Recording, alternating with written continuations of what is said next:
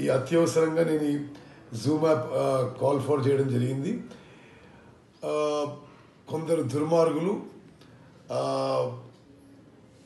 ఒక TV nine logo వాడుకొని TV nine వారు వారి న్యూస్ కాదని చెప్పి వాళ్ళు ప్రకటన ఇచ్చారు.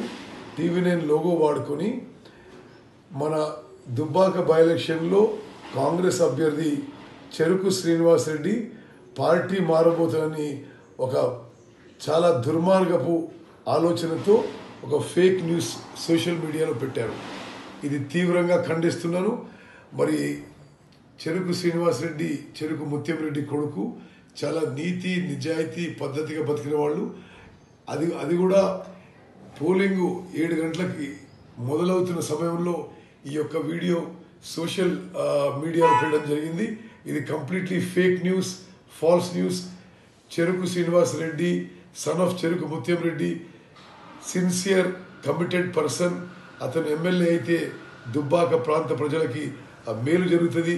ఇది హరీష్ రావు రఘునందన్ రావు దగ్గరి బంధువులు అన్నదమ్ములు ఒకే సామాజిక వర్గం చెందిన వాళ్ళు వాళ్ళు చేసిన నాటకం మేము భావిస్తున్నాం. అది నమ్మొద్దు.